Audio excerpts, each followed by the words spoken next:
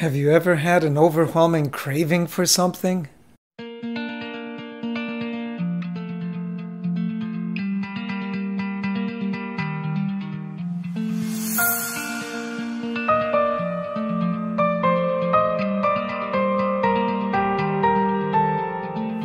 Mining the Word, staying true to Scripture while applying it to my everyday life. Uncle Arthur tells a story about a young boy, I'm going to call him Jack, and he really wanted a cookie out of the cookie jar, and his mother had told him no cookies until it's time to eat the regular meal. Then you can have a cookie. So he came tiptoeing in toward where the cookie jar was but there was a picture of Jesus. Now, maybe you've seen a picture before where the person looks straight into the camera when the picture is taken. And this picture of Jesus was painted in that kind of way. And when the eyes look straight ahead at the person viewing the picture, it has a strange effect that no matter what angle you go to and view this picture, it seems like that person's looking at you. So as Jack came to reach for a cookie, there he saw what looked like Jesus looking at him. So he came sneaking in from the right, and there was Jesus looking at him. And he came sneaking from the left, and there was Jesus looking at him. And he came sneaking up from below the counter, just coming, sneaking up and then peeking over. And there was Jesus looking at him, no matter where he came from. And finally, when his mother came home, there was the picture of Jesus with the eyes cut out with a knife, and she realized that picture by the cookie jar. Yes, sure enough, there were crumbs on Jack's mouth, and she could realize what he had done, and he was in trouble, and he wondered, how could mom know? There's something about temptation that has a strong pull, and we get caught between morals and incentives. And behavioral economics will often look at the realm of incentives because morals are how we should live and economics are, are how we actually do live, but that's another story. Before we jump into our passage for today, let's pause to pray. Lord God, thank you for sending Jesus as an example to show us the way.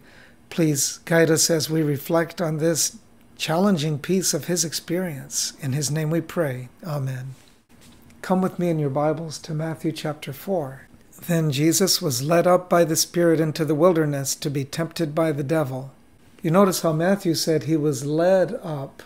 Mark says immediately the Spirit drove him into the wilderness. It was a compelling force. He had to go there. And what was the purpose?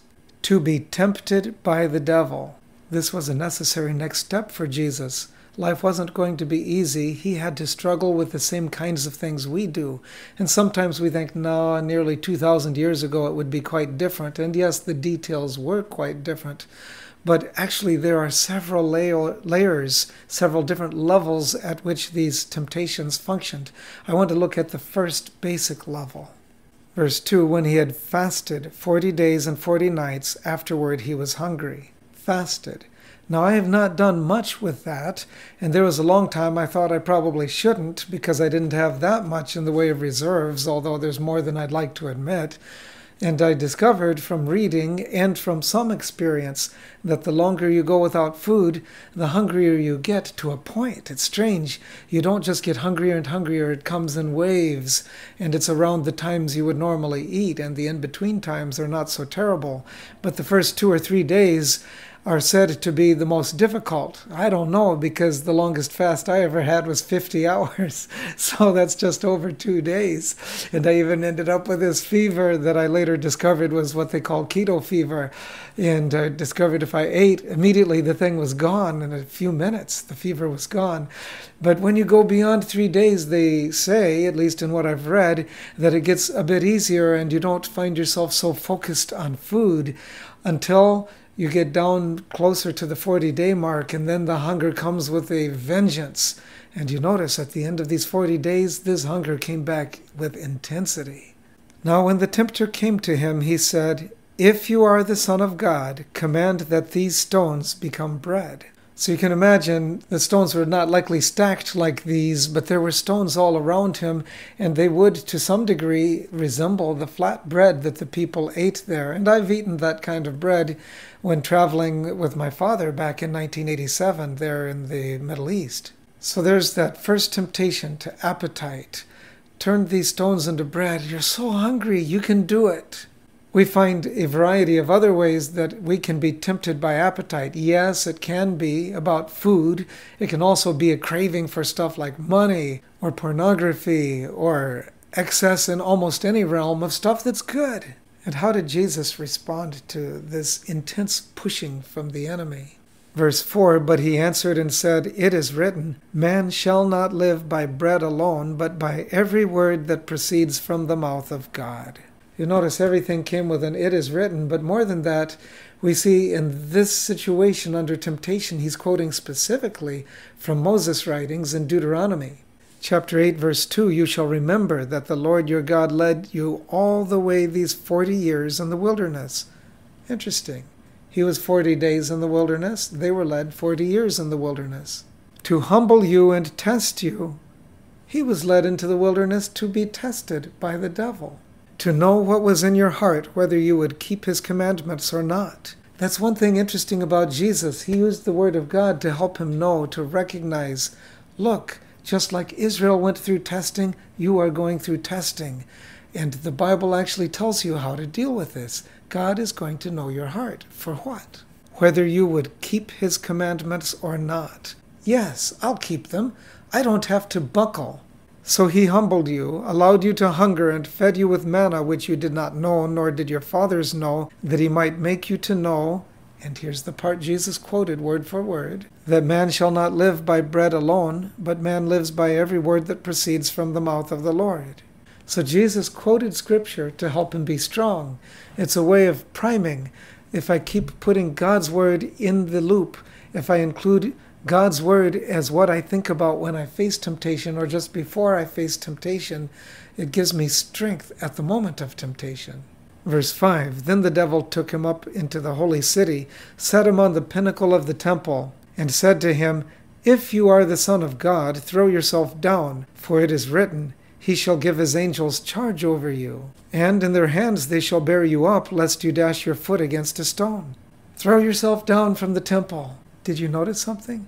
The devil left out a few words. It's only three words in Hebrew, eight words in Greek, or seven words in English. And what did he leave out? Well, you have to go back to compare with the actual quotation. Psalm 91, verse 11 in English For he shall give his angels charge over you to keep you in all your ways. To keep you in all your ways. Seven words in English left out. He wanted Jesus to think he will protect you. But don't think about how He will keep you. So the second temptation was a love of display leading to presumption. You just presume on God's protection. There's a difference between faith and presumption. Faith claims the promises of God, presumption claims them inappropriately for your personal advantage. Verse 7 Jesus said to him, It is written again, You shall not tempt the Lord your God. Where did that come from? Once again from Deuteronomy. Chapter 6, verse 16 You shall not tempt the Lord your God as you tempted him in Massah. You shall diligently keep the commandments of the Lord your God, his testimonies, and his statutes which he has commanded you. And you shall do what is right and good in the sight of the Lord, that it may be well with you, and that you may go in and possess the good land of which the Lord swore to your fathers to cast out all your enemies from before you, as the Lord has spoken. So, in that promise, he only quoted part of it as he's telling the devil, Look, I'm not supposed to tempt the Lord my God. But in the back of Jesus' mind, he could remember the rest, which is also saying he'll push out the enemy. And the enemy here is not Egypt or Assyria or any of these powers, it's the devil with his temptations. And sure enough, what happens next? Well, actually, there's one more temptation before he gets to the pushing out of the enemy. Matthew 4, verse 8. Again, the devil took him up on an exceedingly high mountain and showed him all the kingdoms of the world and their glory. You can imagine him just looking out from this mountain, not as high as in the picture, but he could see so far. But he could see farther than the mountain would normally let you see because the devil's showing him all the kingdoms of the world, apparently in a vision. And he said to him, All these things I will give you if you will fall down and worship me. And as Luke tells the story, he adds one piece For this has been delivered to me, and I give it to whomever I wish. The devil claimed it as his. I have authority over all this. I can give it to you. Just bow down It's that easy. So this was a love of the world. Don't just do things that are according to God's word. Love the world and whatever it has to offer. But once again, Jesus was strong by going back to Scripture. Then Jesus said to him, Away with you, Satan, for it is written, You shall worship the Lord your God, and him only you shall serve. Away with you, hupageh! You know, it's like, get out of here. So here Jesus is quoting from Deuteronomy 6, this time verse 13. You shall fear the Lord your God and serve him, and shall take oaths in his name. You shall not go after other gods, the gods of the peoples who are all around you, etc. It was clear only one God, not all these others that your neighbors call God. And so Jesus turned that back against the devil. I'm only supposed to worship God. So what happened next? Matthew 4:11. Then the devil left him and behold angels came and ministered to him. That reminds us of the piece the devil had actually quoted from Psalm 91. He shall give his angels charge over you to keep you in all your ways. It came true. The angels did come and they kept Jesus from falling for the temptation. They didn't only protect him physically. Now, I mentioned that there are several different levels that we could look at, and we looked at the first level, you know, the basic meaning of these three temptations. But let's go up to a second layer. It's related to salvation. Jesus was tempted in the same ways we are tempted relative to how can I be saved?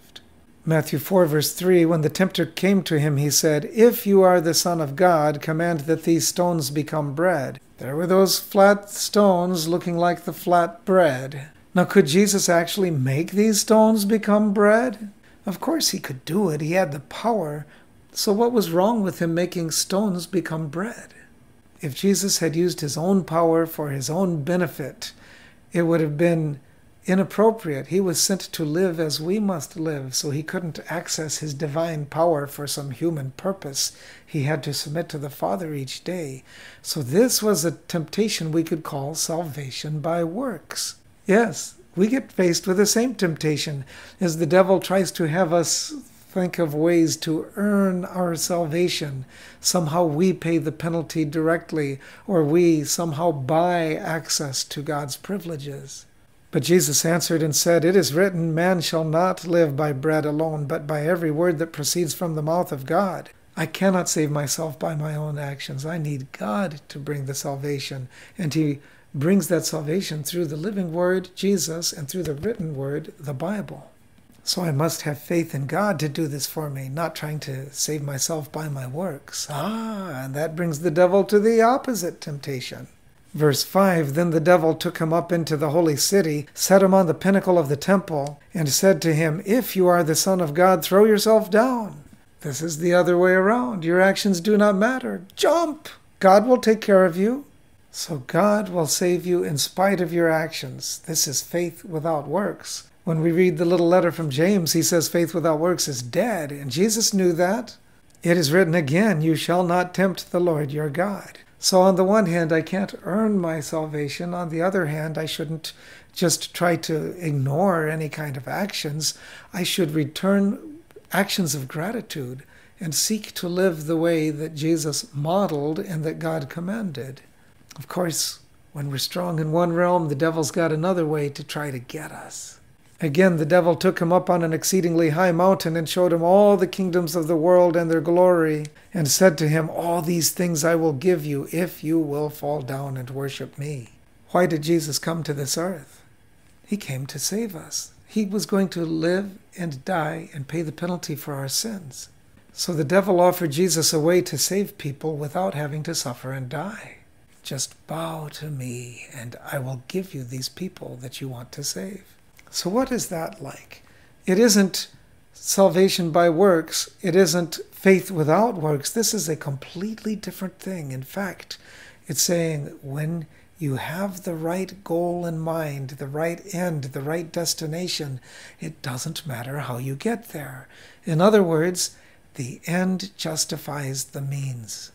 It's interesting to me that these three temptations come to Jesus right there on Calvary, although the second and third temptations are switched, just like Luke's order of telling of Jesus' temptations. Matthew 27 40, they said, If you are the Son of God, come down from the cross. That sounds very much like we just read in the first temptation. If you are the Son of God, make these stones into bread. If you are the Son of God, come down from the cross. Likewise, the chief priests also, mocking with the scribes and elders, said, He saved others, himself he cannot save. If he is the King of Israel, let him now come down from the cross, and we will believe him. There it is. The way we will believe is only if he comes down from the cross. It's just like when the devil said, Bow to me, and I'll give you these people. They're saying, Come down from the cross, and we'll give ourselves to you. It's the end justifies the means. Do this a way that God did not plan, and you will get what you wanted. The end justifies the means. We get tempted that way too. Verse 43 He trusted in God, let him deliver him now if he will have him, for he said, I am the Son of God. He trusted in God. Let Him deliver him. That's this whole business about faith without works. Don't worry, just let Him take care of it all. Just like jump, He'll take care of you, He'll send angels. Faith without works. So those were two levels, looking at the basic temptations, looking uh, layered maybe deeper about how is it related to salvation. And there's another one, how does it relate to God's Word? Verse 3 Now, when the tempter came to him, he said, If you are the Son of God. Wait a minute. What were the last words that were recorded as Jesus hearing from the Father when he was baptized? Matthew 3:17 Suddenly a voice came from heaven saying, "This is my beloved son in whom I am well pleased." So the word of God said, "This is my beloved son," and the devil said, "If you are the son of God." So, what is that first temptation on a Bible basis? Well, one way to look at it is doubt the Word of God. You don't believe it just because it says so. Maybe there's some other reason this was written, or maybe it doesn't really mean what it says, and we need to take a look at it another way. Or it can mean live without reference to the Word of God. I can read it for information, but don't actually live this way. Who would live this way today anyway? We are a few thousand years later from when God gave those words to Moses, but Jesus took those words very literally and specifically as they'd been written. So, summarizing, that's doubt the Word of God, whether you doubt that you should actually live that way or doubt that it even had that meaning. Now, the second temptation goes a different direction. Okay, then when the devil had him up on the pinnacle of the temple, notice what he did with God's Word. It is written, He shall give His angels charge over you, and in their hands they shall bear you up, lest you dash your foot against a stone. Remember, he skipped those words, three words in Hebrew, seven words in English. He skipped those words. He was twisting the Bible to make the Bible say what he wanted it to say. And so often that's what we do. We're looking in the Bible. Can I make it say what I need to say so people will do what I want them to do? Maybe they'll give me permission to do something that God actually condemned if I find the right place that looks this other way. So the new direction is to twist or wrest the word of God. And Jesus responded, verse 7 It is written again, You shall not tempt the Lord your God. Be sure to quote or read Scripture the way it's actually written. Don't be twisting it to make it sound like what you want it to sound like. People are very happy to make it bend and move to fit their agendas, and it's easy for that to become part of my action if I'm not careful. I need to follow Jesus' path, take it as it reads. The third temptation is quite different. The devil took him up on the high mountain, showed him all the kingdoms of the world, and then said, All these things I will give you if you will fall down and worship me. Who is the real person with authority over the world? God is the one who has authority over all the world. So the devil was challenging the authority of God. The written word says God has authority. The devil's spoken word is I have authority. Just bow to me. I give this to you. And there are so many ways that we do something different than accept the authority of God's word. We might put science over the word, or our personal opinion over the word, or we may put the teachings of very significant people over the Word, and we're reaching here and there. When do we ever go to the Word of God itself and actually follow it? Verse 10 Jesus said to him, Away with you, Satan, for it is written, You shall worship the Lord your God, and him only shall you serve. I challenge you, take time to discover what the Bible actually says. you can know it like Jesus knew it, so that even when someone tried to twist it in front of him, he would remember what it actually said and he could go to other parts of the Bible to give him guidance, to protect him from the kinds of errors he could otherwise let creep into the experience. So let the Bible actually guide the way you live each day. The Bible will be a source of strength, a source of comfort, a source of protection, and the angels of God will keep you in all your ways. Let's pray. Lord God, thank you so much for guiding us day by day. Help us to truly follow your word as Jesus did and not to let the way of the enemy lead us somewhere else. In Jesus' name we pray. Amen. God bless you as you continue mining the word.